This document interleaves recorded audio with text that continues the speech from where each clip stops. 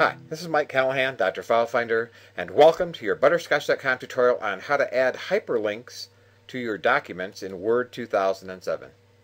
With so many things happening on the internet, it's really handy to be able to insert a hyperlink into your documents that lead to websites and other places you want to include in your document.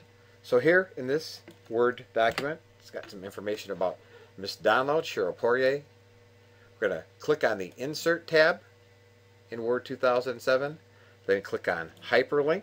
And you see here in the display, it has a spot to type the text we want to display. So I'll say butterscotch. And then down here, under the address, I've got the address for butterscotch.com. Now I can click OK.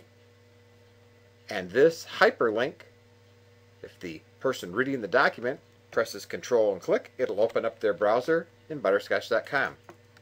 Another type of hyperlink is an email address. And here we can put email address, and then up here we can put whatever we want.